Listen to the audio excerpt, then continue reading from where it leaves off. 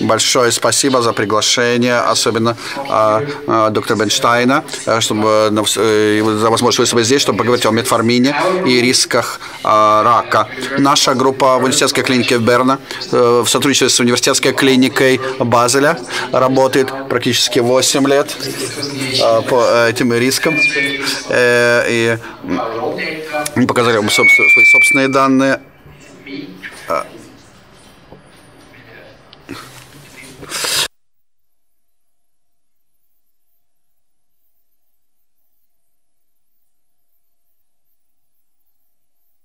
Итак, давайте посмотрим на ситуацию в 2005 году, когда появилась вот эта история, интересное э, исследование, так называемый типа case control в Шотландии, э, в которой изучалось э, эпидемиологическое такое исследование было проведено. И вот что было выяснено. Была найдена когорта, группа пациентов с диабетом второго типа, и они в этой группе пациентов изучали, э, использовали они метформин или нет в прошлом. И далее они э, изучали, э, взяли пациентов, у которых развилась какая-нибудь опухоль, и они взяли пациентов, у которых рак возник через год по диагностике диагноза диабета. И и это также было, попытались связать это с принимаемой э, терапией. Что же они увидели? какие они получили результаты. Они увидели, что э, э наблюдалось на 23% снижение риска, опухоли у пациентов, которые потребляли метформин в любой момент времени после постановки диагноза э, диабета. Далее они посмотрели на дозависимость этого эффекта, и они увидели умеренный эффект. Э, чем больше чем больше метформина пациенты получали метформин, тем ниже был риск.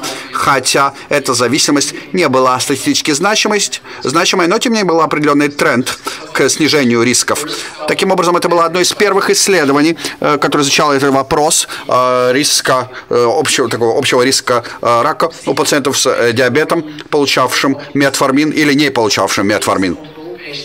Это в группе, в контрольной группе они могли, пациенты могли получать все, что угодно, э, другие, любые другие препараты, кроме метформина. Это достаточно гетерогенная группа. И нужно понимать, что а, и э, сильная сторона этих исследований было то, что это было новое исследование, это была а, новая гипотеза, которая в нем изучалась. Э, был получен некое, изучался вопрос зависимости. А, и, и сегодня доктор, доктор Сантон говорил, что Э, э, э,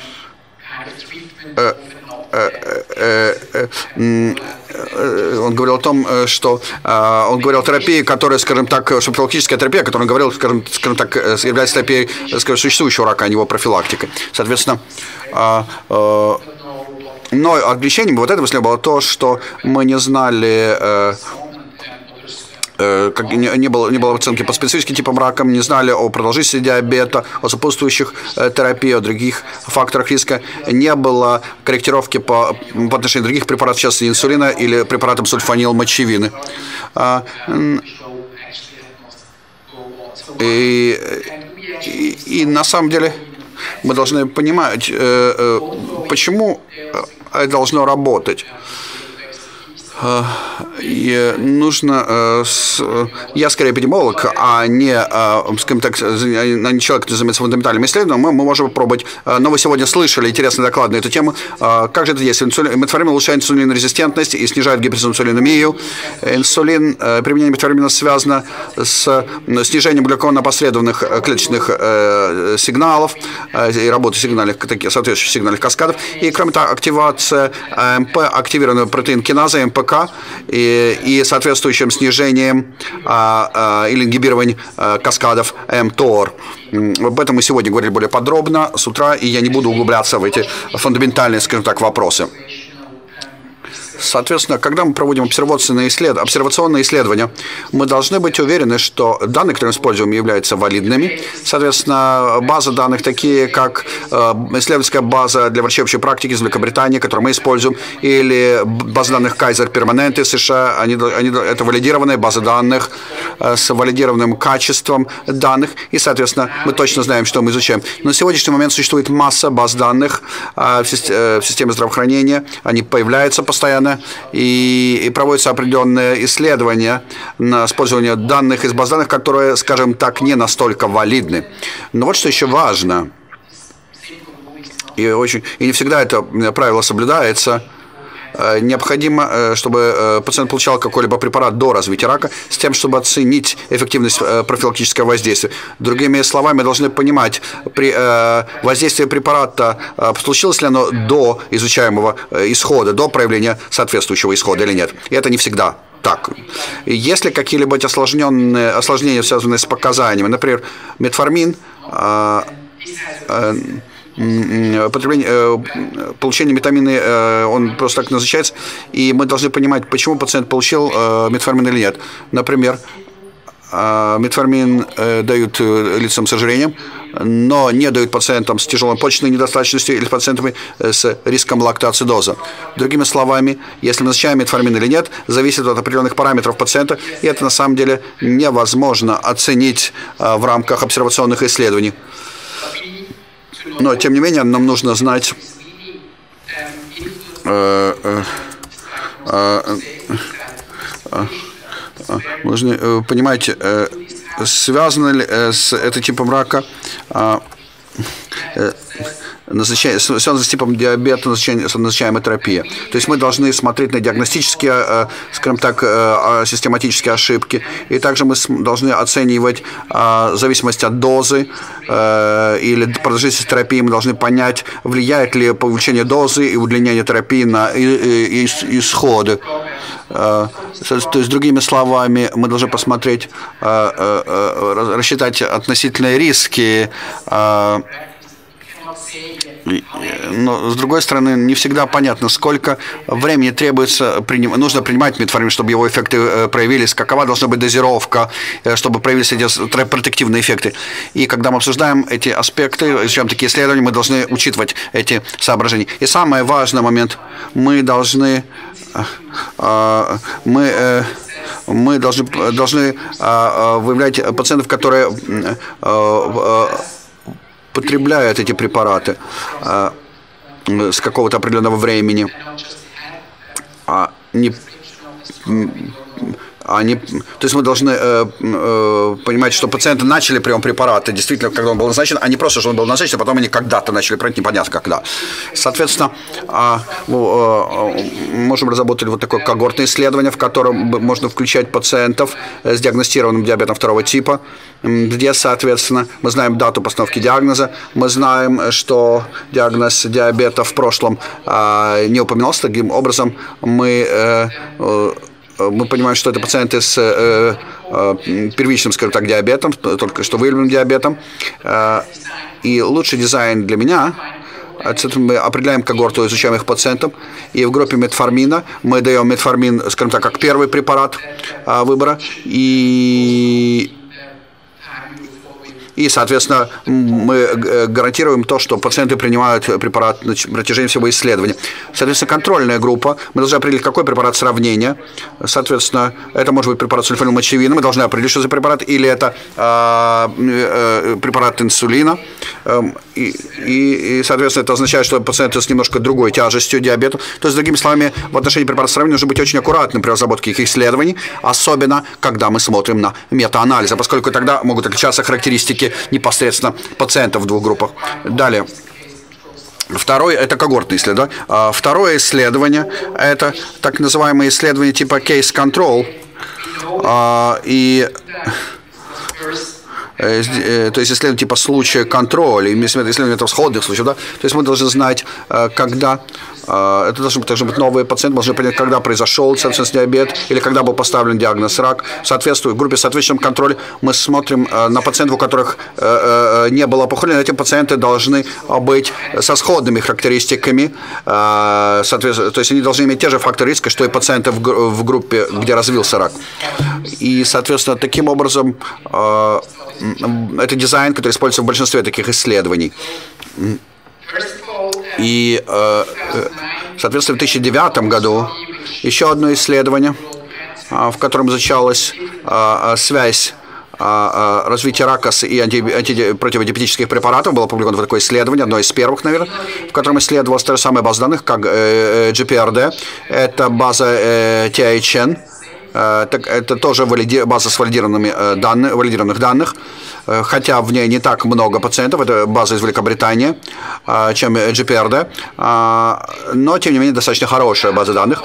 Исход – это прогрессирование до, любой, до любого вида опухоли, не было каких-либо кодов. Пациенты были в возрасте старше 40 э, э, лет, у них должен быть э, подтвержденный диагноз диабета, и они должны были получать 6 или и э, у них долж, э, э, у них должны, должны были получать э, 6 спиральных диабетических препаратов с серебряным таблет 2-3 года. Было 4 э, группы пациентов. Это пациенты, которые, первая группа, это пациенты, которые получали метформин, Соответственно, можем предположить, что это пациенты с менее тяжелым диабетом, и э, э, в группах 3 и 4 это, соответственно, э, это более тяжелые пациенты, где пациенты получали либо инсулин, либо получали комбинацию нескольких препаратов. Скорее всего, более тяжелые пациенты. Вот кривые выживаемости. И мы можем посмотреть сюда, и мы видим, что здесь кривые выживаемости расходятся очень рано в начале исследований. И вы помните то, что я сказал, что мы должны удостовериться, что что а, а, препараты, пациенты получали эти препараты до выявления, до диагностики рака. Знак вопроса, здесь, здесь что-то не так. Может быть рак или что-либо связанное с развитием рака. Этот фактор э, был причиной того, что эти кривые так быстро разошлись. Возможно, в случае рака поджелудочной железы, например, и э, при поджелудочном диабете э, это является следствием рака. Таким образом, вам нужно э, давать этим пациентам некоторые препараты. Э, и также, может быть, диагностические, диагностические схематические ошибки сыграла роль. И эти пациенты, возможно, просто подвергались более частому контролю. И вот такое расхождение э, кривых выживаемости настолько ранее не имеет биологического смысла. Другими словами, это не представляет собой а, а, отсрочку в развитии рака. И я думаю, э, что, возможно, здесь имеет роль какое-то изменение терапии пациентов на момент постановки диагноза. Но если посмотреть э, повнимательней, мы можем увидеть, что у лиц, получавших метформин, эта группа, это пациенты были более молодыми, у них был короче продолжительность диабета. И самое интересное, у них была меньше вероятность наличия э, э, рака в анамнезе по сравнению с потребителями сульфанилмочевины поскольку э, пациенты с анамнезом рака не должны были включаться в такие группы, поскольку эти риски, соответственно, естественно, повышены. И и, соответственно, и, соответственно, вот э, э, в такой ситуации такое расхождение кривых э, делает неправдоподобным такое раннее расхождение кривых. И пациенты должны были, у пациента должно быть опухоли до смены препаратов в третьей группе или после или до добавления инсулина, и у них должен быть менее жесткий контроль за течением диабета и более длительная продолжительность э, диабета. Это факторы, которые осложня, осложняли, скажем так, оценку этих пациентов. Это, это исследование очень проблемное, скажем так, и оно подверглось очень серьезной критике. И, и еще один более консервативный способ для изучения рисков рака – это, соответственно, использование принципа intention to treat, то есть включение всех пациентов, получивших хотя бы одну дозу препарата. Вот Великобритания использует э, GPRD, и все пациенты с диабетом второго типа были включены в это исследование. Э, и у них не было в анамнезе э, э, какого-либо какой-либо онкологии до включения в когортный анализ. И первая терапия, которую они получили в течение 12 месяцев после диагностики рака. Другими словами, они получили, получали некую терапию в первые 12 месяцев с момента постановки диагноза диабета было 6 групп. Первая группа получала только метформин первые 12 месяцев, вторая получала только препарат сульфанил мочевина, третья группа получала только тизолидин-дионы. Ну, далее мы решили посмотреть на эти две группы, и мы видим, что это достаточно четко определенная популяция. Да? Они использовали только метформин первый, первый год или только сульфанил мочевину что происходило позже, через 2-3 года, они это не изучали. То есть, э, то есть авторы не учитывали изменения терапевтических схем. По, э, поэтому, как и в рандомизированных исследованиях, мы получаем этих пациентов как пациентов э, э, э, с группой intention to treat. И вот что было выявлено? Э, если сравнивать лиц, получавших метформин или сульфанил э, мочевину, э, Э, имелся некоторый статистически недостоверный, э, хотя статистически недостоверный риск снижения э, риска рака. После корректировки по различным осложняющим факторам, скорее всего, индекс массы тела, поскольку ИМТ массы тела связана с развитием рака, и снижение ИМТ также может связано со снижением с потреблением метформина. И кроме того, продолжительность э, заболевания, продолжительность диабета также оценивался. Это также является важным маркером тяжести диабета. И есть целый ряд факторов, э, которые осложняли анализ. Проблема анализа типа ITT заключается в том, что это консервативная, консервативная, э, э, имеется консервативная оценка эффектов. Это хорошо, когда мы оцениваем э, эффекты терапии, хотя это может быть опасно при оценке безопасности терапии. Здесь, опять же, это консервативный показатель. Мы должны понимать, что выбор метформина, э, решение выбора метформина а, э, был, скажем так, что ли, случайно. И и э, э, здесь мы должны сказать, что здесь имеется различие между двумя э, группами. И мы на самом деле Э, э, в, обсервационных, э, в обсервационном дизайне очень сложно справиться с этой ошибкой. Мы должны использовать статический метод для корректировки исходных характеристик пациентов, то есть ИМТ, наличие курения в анамнезе, возраст и пол, все эти параметры, которые влияют на будущие онкологические риски, они должны также учитываться при исходном анализе. Также требуется статическая корректировка в отношении неприверженности терапии при анализе чувствительности.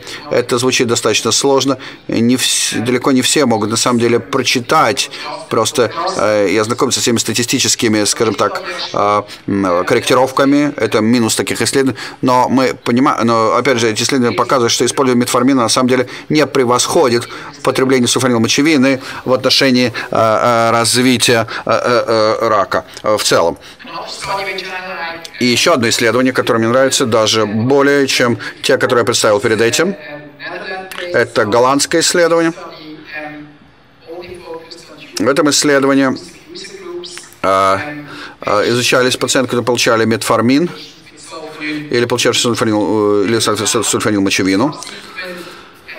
В этом исследовании разрешалось э, добавление сульфанилмочевина в группе метформина или, соответственно, метформин э, э, в группе сульфанилмочевина или, сульфанилмочевина в группе метформина. Это также был анализ по типу ITT. Это пациенты, которые до включения когорт не должно было быть рака в анамнезе.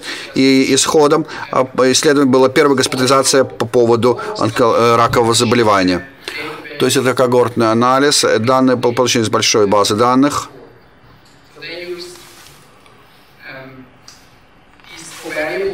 Здесь используются вот эти коварианты, э, в частности, э, потенциальные осложняющие факторы. Это возраст и пол. Также изучались такие моменты, количество госпитализаций до начала исследований для оценки некоторых диагностических э, рисков – диагностические систематические ошибки для пациентов, которые, если пациент чаще попадает в клинику, соответственно, вышли из того, чтобы, что у пациента будет выявлено определенное какое-либо заболевание, соответственно, оценивался вот этот риск, это систематическая ошибка, и также оценивался э, продолжительность диабета и тяжесть диабета также оценивался, но при этом у них не было данных по ИМТ, и это, возможно, является э, негативным моментом в этом исследовании. И э, если посмотреть на этих пациентов, у них в группе метформина наблюдение за ними проводилось э, примерно в течение двух лет, а в группе сульфанилмочевины э, наблюдение проводилось порядка пяти лет. Другими словами, э, достаточно короткий период наблюдения в группе метформина, но в группе сульфанилмочевины э, чуть подольше наблюдений. И как можно было ожидать, у пациентов, которые начали получать метформин, они, в итоге они начинали получать другие препараты, а тогда как те, кто получал фармачину, э, э, наблюдалось некое размытие потенциального эффекта, поскольку пациенты получали в итоге сульфенилмочевину и наоборот. То есть, соответственно, и мы используем такую полную модель после корректировки по всем осложняющим факторам не получили минимально значимое снижение э, риска развития опухоли пациентов, которые получали метформин по сравнению с потребителем сульфенилмочина. В анализе, при анализе чувствительности результаты были достаточно надежными. Эффект в целом был незначительным, порядка 10% но тем не менее был статически достоверным, поскольку э, в исследование было включено очень большое количество э, пациентов. Тем не менее, важные факторы, такие как МТ, не включались в анализ. И с моей точки зрения, и МТ необход... Э, в таких исследованиях необходимо его тщательно следить, э, поскольку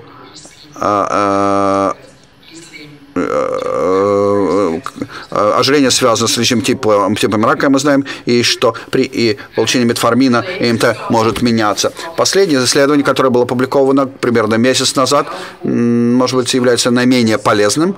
Это исследование, которое было проведено в Тайване а, в, по базе данных системы медицинского страхования. И у нас нет валидированных данных по поводу диагностики рака и по получению антидиабетических препаратов. Авторы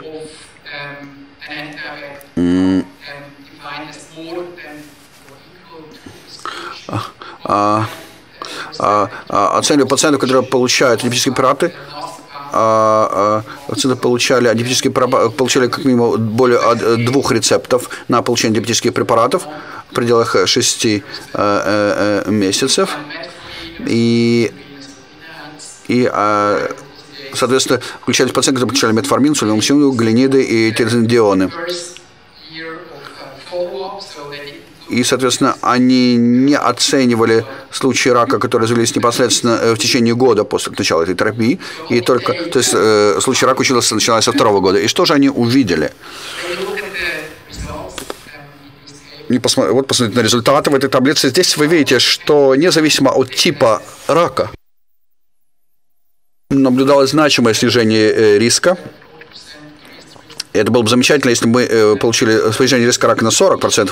Но вот что заставляет вас задуматься, это то, что препарат сульфанилмочевины э, обладает э, максимальным протективным эффектом. И посмотрите, ингибиторы глюкозидазы также обладают мощным протективным эффектом. Другими словами, 25-42%. И это не имеет смысла, поскольку у нас нет причин, чтобы предполагать что ингибиторы глюкозидазы снижают риск риски онкологии на 25% и даже на 42% возражения рака э, печени. У нас нет таких данных в настоящий момент э, по данным фундаментальных исследований. Но давайте потщательнее, э, понимаете, посмотрим на методологии э, с тем, чтобы понять, что же, с чем же могут быть связаны такие результаты. Информации, собственно, нет.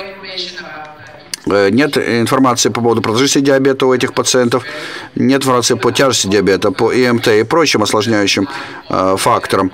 И также нет данных по поводу терапии, другим, другой получаемой терапии, курению и так далее. В этой публикации никаких больше данных не приводится. Соответственно, нужно быть очень осторожным, учитывая эти данные, и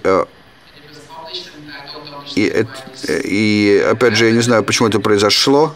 Это исследование а, было опубликовано, и я просто, глядя на это исследование, э, на указанное снижение риска, я э, э, понимаю, что что-то произошло не так. И, соответственно, когда видите такие сенсационные результаты, нужно быть очень-очень аккуратным и рассматривать все буквально, скажем так, под лупой.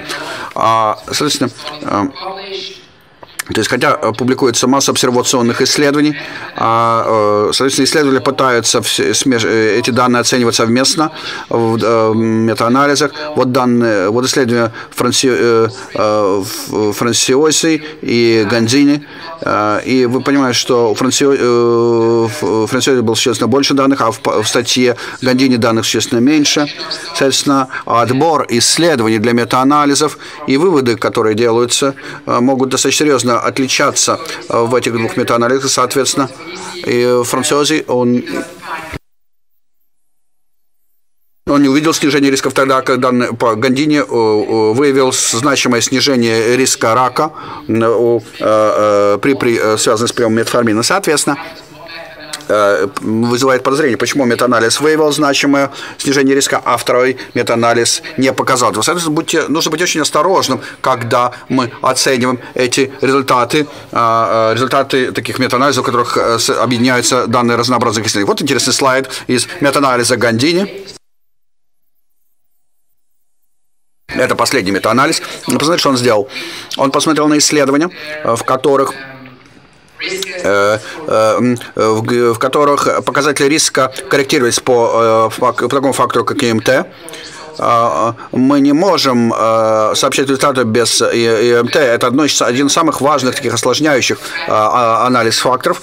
Если посмотреть на эффекты метформина, Э, метформин, эффект метформина был существенно ниже по сравнению э, с исследованием, где ИМТ не учитывался. И, соответственно, это очень, это может очень серьезно повлиять, э, ИМТ может серьезно повлиять на получаемые результаты. Далее мы должны подумать об этих параметрах, параметрах э, гетерогенности. На самом деле, то, что мы видим, Э, по статистическим э, статистика говорит, что нельзя э, смешивать данные, не гомогенные данные. Да? Соответственно, мы просто не знаем, что делать, если мы должны смотреть на данные в конкретных исследованиях. Соответственно, вот если исследование Кари с автором и говорила о снижении, снижении риска. Надежное это исследование или какой компаратор, какой препарат сравнения использовал? Э, было это длительное применение информина или был только метформин или сульфенилмочевина и так далее. То есть, если посмотреть на метанализ, мы не знаем,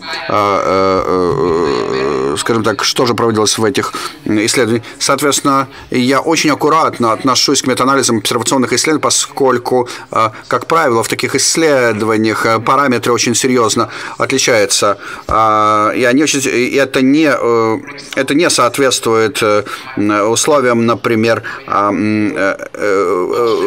РКИ, в которых мы пытаемся получить ответ на один единственный вопрос. И, к сожалению, обсервационные исследования имеют очень разные вопросы, очень разные показатели и очень разные аналитические методики. Это нужно учитывать. Итак, Э, в некоторых метаанализах предполагается снижение э, риска онкологических заболеваний среди э, пациентов, получающих метформин, по сравнению с теми, кто не получает этот препарат но не все метаанализы подтверждают это. То есть нужно быть очень осторожным, нужно оценивать э, каждый след по отдельности, были ли они проведены корректно, какие были э, осложняющие анализ факторы, какой препарат сравнения использовал. Самые интересные э, препараты сравнения для метформина – это сульфенилмочевина. И, естественно, пациент должен получать по одному препарату, поскольку в таких, у таких пациентов, как правило, диабет имеет одинаковые, скажем, более-менее сходные показатели – и очень сложно его сравнивать с другими препаратами для диабета, поскольку, как правило, а, э, как правило, в случае, например, инсулина, а, э, у пациентов тяжесть диабета существенно выше. И тем более мы должны понимать, что сам по себе диабет является фактором риска по развитию рака. Далее мы должны понимать, как долго получался метформин, год или пять лет, мы должны понимать, что эти аспекты также влияют качество получаемых данных. Если вы онколог, соответственно, нужно посмотреть,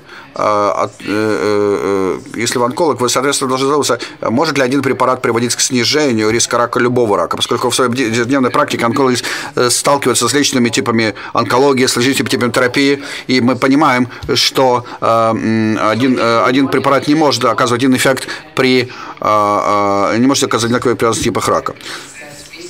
И и э, мы должны, соответственно, искать исследования, которые касаются каких-то конкретных типов рака, а не всех типов рака в принципе.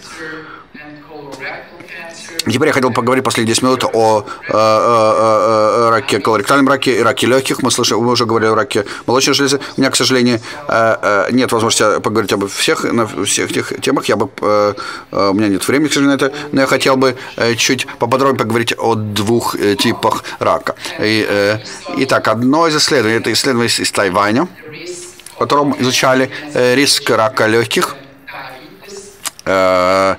Э, при диабете, и у пациентов с диабетом они изучали э, риск рака, развития рака легких в связи с и, и, и, и наличие связи с приемом противодиабетических препаратов. Э, соответственно, изучали два исхода. Э, связаны ли, соответственно, частоту рака легких у пациентов с диабетом второго типа. И, при, при, и соответственно, второй исход, который изучали, это, э, или такая конечная точка, это риск рака легких у пациентов с диабетом, э, проявляющим определенный класс э, препаратов по сравнению с э, э, его, скажем так, э, с неиспользованием конкретного препарата. Итак, во-первых, они показали, что нет связи между диабетом и раком легких, э, и привычным раком легких, и это достаточно э, надежная надежный результат. Этот результат был подтвержден другими исследованиями, и наши исследования также подтвердили этот результат. Это достаточно надежный результат, на него можно полагаться. Но вот что, опять же, заставляет вас задуматься.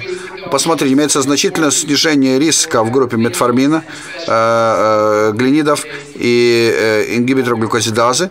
И не очень понятно, с чем это может быть связано. И я всегда сравниваю потребление метформина с и непотреблением или э, слабый например, альфа-глюкозидаз ингибитора должны сравниваться с, с пациентом, который не получает эти препараты. Если посмотреть методически, мы, э, мы должны э, также учитывать некоторые моменты, которые нужно учитывать, когда вы будете читать статьи по таким исследованиям. Они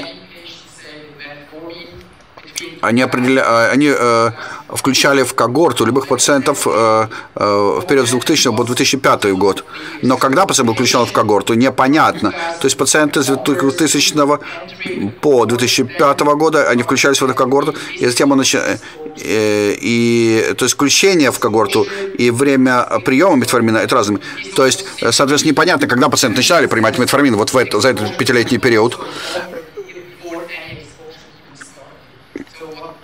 То есть, что же это означает? Что и это, а, это может приводить э, к фиктивному, да, э, кажущемуся снижению риска. Другими словами, мы мы, э, если при таком определении когорты, получается, что мы включаем пациентов и говорим о том, что они получают препарат, хотя они его не получали. И, соответственно, это может приводить к снижению риска. И, соответственно, и, собственно, здесь, вот, собственно, с методологической точки зрения мы видим, что, возможно, что-то не так в этой выборке, в этой группе, и это, соответственно, этот аспект э, э, критиковали, этого исследования. Так, далее, из, э, э далее э, еще одно исследование, э, это наше исследование. Мы это было не когортное исследование, мы проводили исследование типа случая контроля на, по данным базы данных GPRD. И опять же мы оценивали, э, э, есть ли связь между метформина и э, раком легким. И мы проводили корректировку с, с пациентов или корректировку пациентов с соответствующим событиям, с развитием рака легких, мы корректировали их по возрасту, полу и другим факторам. И я не показываю данные для продолжительности диабета и по тяжести диабета. Поскольку здесь не было, здесь не было связи с развитием рака легких. Но вот если посмотреть на различные препараты, мы, у нас было достаточно много случаев, которые могли проанализировать. Метформин э, до 14 рецептов. Э, то есть один рецепт выписывается раз в 2-3 месяца. И, и мы не увидели какого-либо снижения э, риска э, при потреблении метформина. Риск не изменялся при приеме фанилмочевина имелось некоторое повышение э, э, рисков э, с инсулинами, но, возможно, это связано с тем, что здесь было э, меньше контрольных случаев, чем в других анализах, но, возможно, что-то, здесь и какой-то эффект инсулина, но однозначный эффект не наблюдался э, при метформине или пиральных э, противоптических препаратах. А, и наши результаты э, были подтверждены еще одним исследованием, которое было опубликовано в 2013 году, это группа э, э, из Монтрео, Смичевский. Э,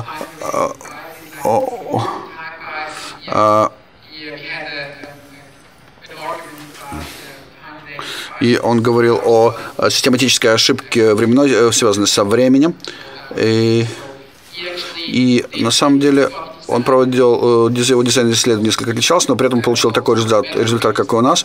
И он увидел, что метформин, скорее всего, и вывод был в том, что э, метформин не связан э, с изменением рисков развития рака легких. Но если посмотреть на другие исследования, которые э, достаточно серьезно критиковались, в частности, это исследование, одно исследование Матсона, и исследование, которое показало слишком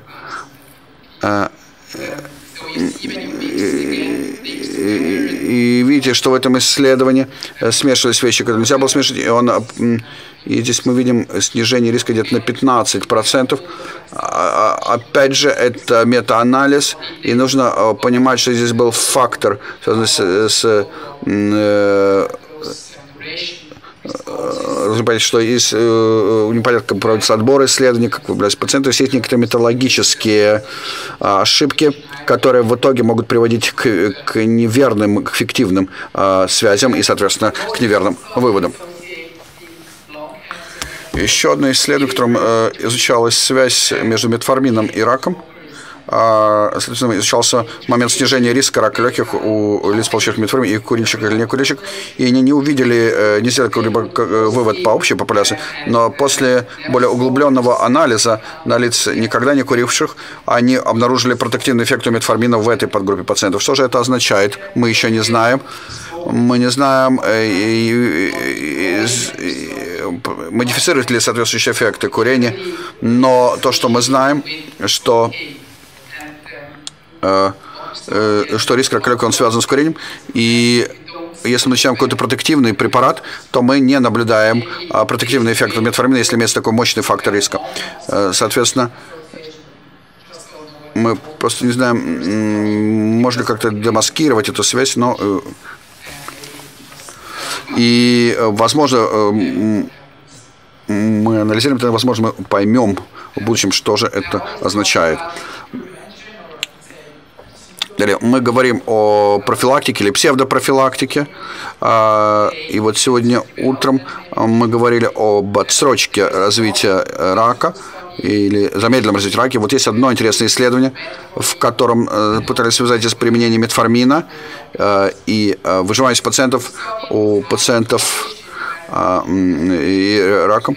А, вот исследование, которое было опубликовано в американском журнале American Journal of Respiratory and Critical Care. А в этом исследовании пациенты получали метформин за 6 месяцев до диагностики четвертой степени рака легких. Пациенты, которые потребляли метформин в этот период времени, у них было э, выше, лучший показатель выживаемости по сравнению с теми, кто не потреблял метформин. Э, был проведен э, проводился анализ э, у пациентов с или без химиотерапии и так далее. И эти данные были более-менее, скажем так, подтверждены. Вот исходные характеристики пациентов. В группе метформина пациенты также получали препарат сульфанилмочевины, может быть, до или после. Э, исследование не позволяет получить ответ на этот вопрос. В группе без метформина они получали чуть больше сульфанилмочевины, это имеет смысл, поскольку они не принимали метформин. Вот некоторые исходные характеристики карающиеся расы, этнического происхождения и возраста и так далее. Эти пациенты достаточно соответствовали. Единственный момент, который, опять же, заставляет вас озадачиться, то, что Э, улиц на метформине чаще применялась метформине, э, химиотерапия, и это может быть связано, соответственно, с повышением выживаемости. Соответственно, нужно э, э, учитывать э, чувствительность анализа улиц с или без э, химиотерапии. То, соответственно, как выглядели кривые выживаемости. Смотрите, при э, метформина мы э, получили на 3 месяца больше выживаемости у пациентов с э, э опухолями четвертой, э, при, при раке э, четвертой стадии. Не так много то для пациентов с таким тяжелым заболеванием это достаточно серьезная разница. Это предварительные данные, данный нет всех данных, которые влияли на смертность и на эти кривые. То есть у нас, соответственно, нет данных по сердечно-сосудистым рискам у этих пациентов, у нас э, нет э, данных по э, различным препаратам, которые сами по себе могут влиять на смертность. Другими словами, если в обсервационном исследовании изучается смертность, то вы также должны быть очень аккуратны, поскольку очень просто оценить смертность. Вот можете посмотреть на этот регистр.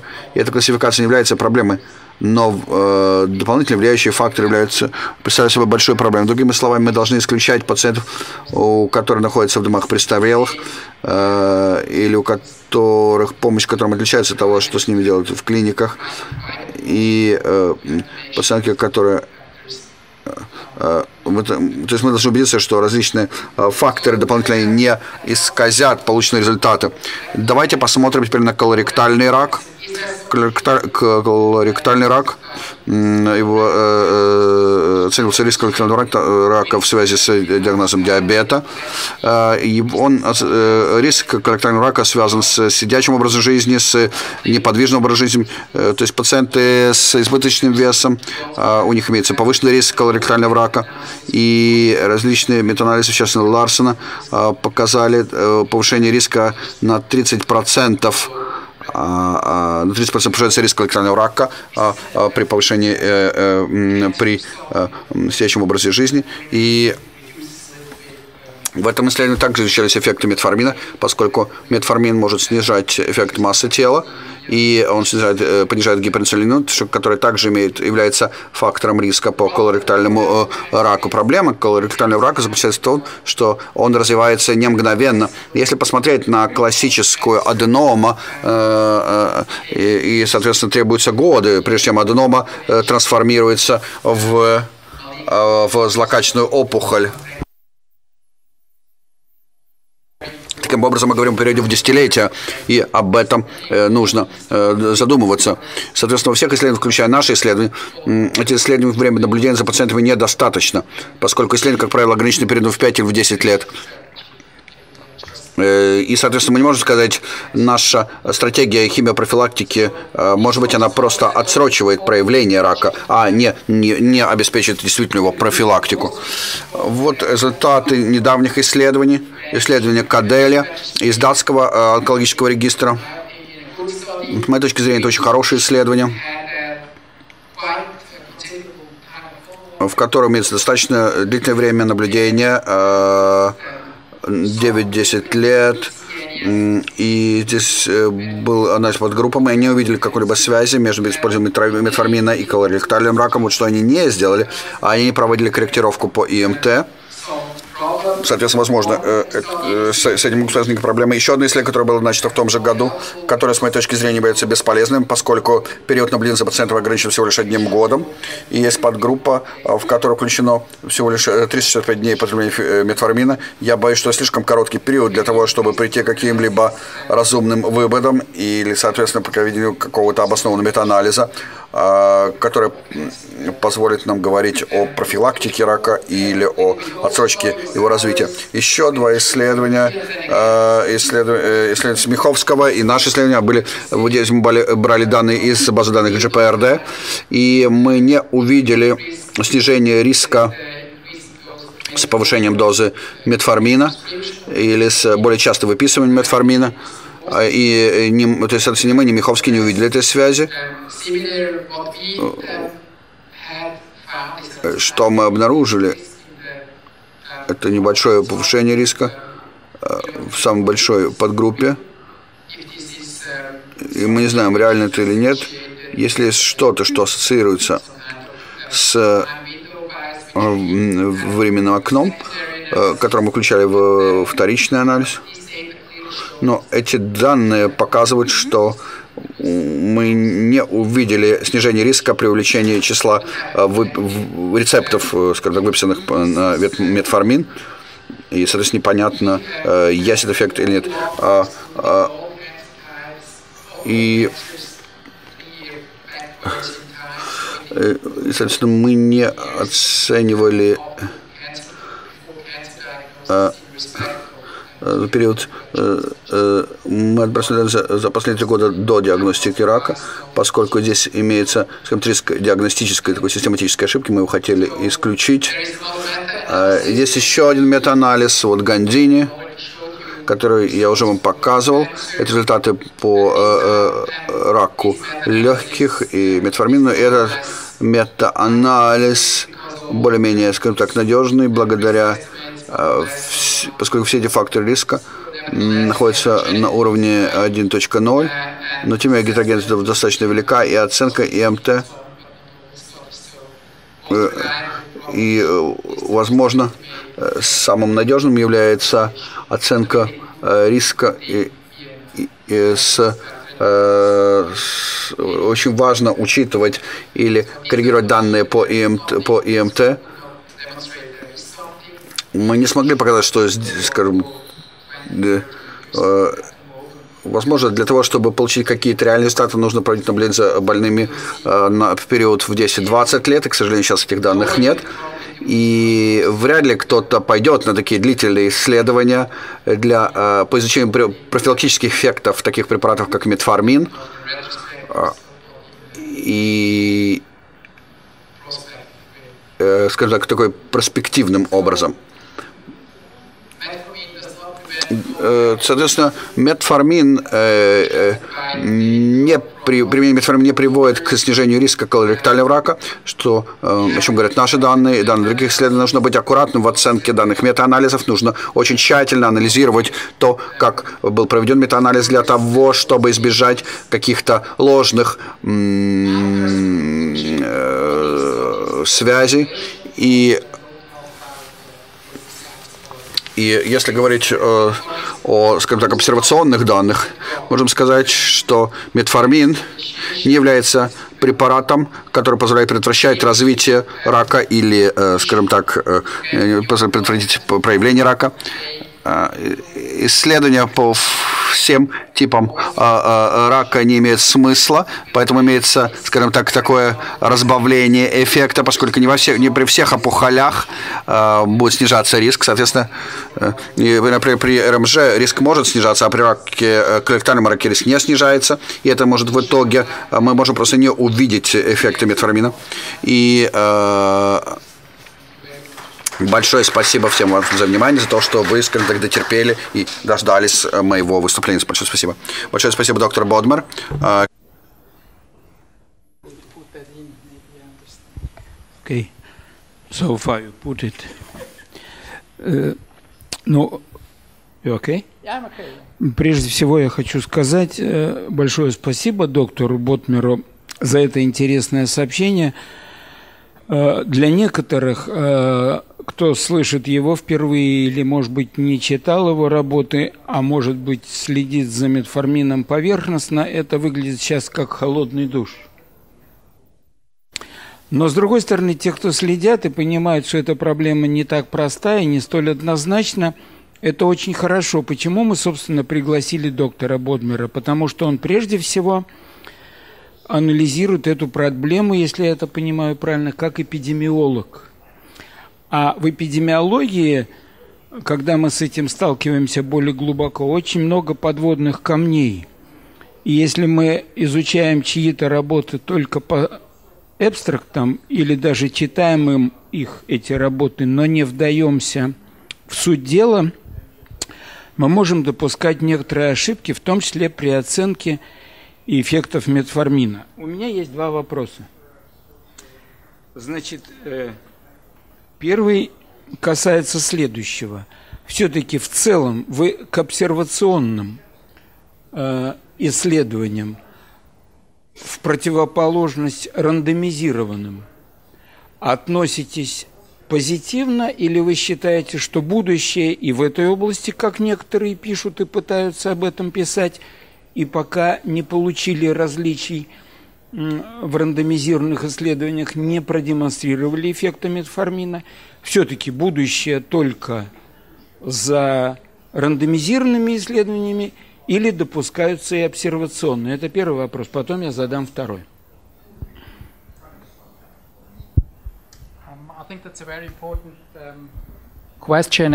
Я думаю, что это очень важный вопрос. Вы знаете, когда мы говорим о метформине, сейчас есть масса такого, а, а, э, такого пиара, если хотите, да, и если какой-то потенциал, может быть, есть что-то, а, что работает при определенных типах рака, что не работает при других, но с моей точки зрения, рандомизированные исследования, э, они запускаются, они, э, и они э, будут проводиться в, в последующие годы. Э, сейчас идет более 170 исследований, где тестируется метформин как э, препарат адювантной химиотерапии при различных опухолях. Соответственно, есть специалисты, которые считают, что есть некий потенциал этого препарата. С другой стороны, я считаю, что при определенных типах рака, да, есть потенциал, в частности, при РМЖ. И э, я, э, мне очень интересно будет посмотреть на результат этих исследований. С другой стороны, при раке яичников, где мы также проводили исследования и увидели какие-то определенные протективные эффекты. Хорошо, мы их увидели, но мы должны быть очень аккуратны, поскольку обсервационный дизайн исследования не настолько хорош, не настолько качественный, как дизайн рандомизированный.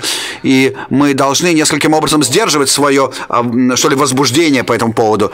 Я достаточно а, а, обсервационный исследователь, я достаточно оптимистичен. Мы можем узнать много нового. Может быть, метформин единственный препарат выбора, или, может быть, требуется какой-то э, производный, поскольку э, метформин – это препарат, который не всегда попадает в клетки, если нет транспортера. И, соответственно, мы не так много знаем по поводу транспортеров в этих э, в раковых клетках. Соответственно, может быть, требуются другие молекулы, которые будут эффективны в этом случае. Но в, другом, в любом случае я бы продолжал проведение этих исследований. Я думаю, что мы получим больше обсервационных данных для определенных конкретных типов рака. Каково ваше собственное предвидение, your own prediction? Какова, какая судьба ждет исследования, когда метформин дается людям без диабета? А, окей. Okay. I will repeat. No, no. The question goes about... Собственно, вопрос, если вы даете метформин, метформин пациентам без диабета, каков будет ваш прогноз в отношении, скажем так, возможной профилактики рака? И, может быть, терапевтического эффекта. Естественно, это очень интересный вопрос. И э, э, эти обсервационные исследования, большинство из них, как минимум, они э, ограничены пациентами с диабетом. Есть пациенты с, например, синдромом СПКЯ, которые получают метформин, но не можем прийти к определенному выводу, поскольку число пациентов очень невелико. Есть определенные фундаментальные исследования, которые показывают определенный эффект метформина, также на, у пациентов, на пациентов без диабета. И я достаточно имею достаточно достаточно положительное отношение. То есть не обязательно, чтобы был диабет э, для прямых эффектов, поскольку наличие диабета – это определенный континуум, да, э, э, э, Поскольку мы говорим, что диабет, мы определяем это повышение гликированного гемоглобина или, перго, или какой-то гликемии, но это некий континуум. Пациенты с диабетом, не обязательно, мы можем говорить о целом континууме, а не только пациенты с диабетом. Пациенты с нарушением толерантности к глюкозу. То есть, соответственно, как это сделать на практике, я не знаю, мы не можем говорить сейчас о метформине как терапии у пациентов без диабета, поскольку этот вопрос не изучался. Э, и э, можем ли использовать как препарат профилактического направления, тоже не знаю, это не изучалось, но обсервационные данные, к сожалению, не появятся, опять же, поскольку никто не применяет его с такими целями. Поэтому я отрицательно отношусь к э, профилактическим исследованиям у лиц без диабета. И я думаю, что эти исследования должны, э, будут проявляться у пациентов с уже развившимся раком, а не как исследования с э, ну, как сказать, для профилактики рака. Да. А, а, большое спасибо. Да, доктор Сантен. Доктор Сантен хотел сказать несколько слов по поводу заключения, заключения и дискуссии, которая... Я бы хотел э, э, высказать свою точку зрения как, как международный гость. Э, эта встреча посвящена памяти Владимира Дильмана, и он действительно э, концентрируется на аспект, скажем так, интеграции. И мы говорили об взаим взаимодействии различных факторах, гормоны, ожирение, генетика, факторы окружающей среды, географические факторы и свет, световое воздействие. И мы действительно должны говорить о его э, видении, о том, как можно это все синтегрировать. И я думаю, что мы все помним, что еще э, в 2025 году, в 2025 году доктор Уортворк сказал, что метаболизм является всем, что может э, приводить к раку. И мы в итоге через какое-то время мы потеряли э, Э, отказали, забыли об этой концепции, но сейчас мы возвращаемся к этому. И Американская ассоциация э, исследований рака в США, э, ее представители обратились ко мне две недели назад и попросили меня провести именно вот такую конференцию, чтобы посмотреть на взаимодействие а, а, рака или рисков, факторов риска рака со всеми другими а, факторами. И сейчас эта тема становится весьма-весьма горячей, тема интеграции и различных взаимодействий различных факторов а, онкологии. И масса докладов сегодня был посвящена этой теме. И, наконец, я хотел бы сказать, что мы, э, как ученые, мы э, пойдем вместе быстрее, будем развиваться быстрее, если мы э, работать вместе. Для меня был потрясающий опыт приехать сюда на эту конференцию. И я думаю, что мы э, Главная задача, э, главная заслуга конференции в том, что мы видим, что можем сотрудничать вместе, и это будет помогать нам развиваться и развивать науку совместно. Два-три слова. Ну, во-первых, я признателен всем кто выступал здесь, кто приехал издалека, кто приехал из Москвы, из Санкт-Петербурга пришел, кто приехал из зарубежных стран. Но самое главное, и тех я хотел поблагодарить, кто помогал, чтобы эта конференция у нас прошла достаточно хорошо. Все тем, кто вот в этой команде работает, большое спасибо всем. И, конечно, большое спасибо всем, кто досидел до конца этой конференции и услышал, на мой взгляд, несколько полезных вещей. Что касается сотрудничества, о котором говорил профессор Сантен, то, естественно, мы должны полностью э, быть на стороне такого взгляда, что без сотрудничества между отдельными учреждениями, исследователями из разных стран – и теми людьми, которые работают в одной и той же области, без сотрудничества никаких у нас, в общем-то, хороших результатов не будем.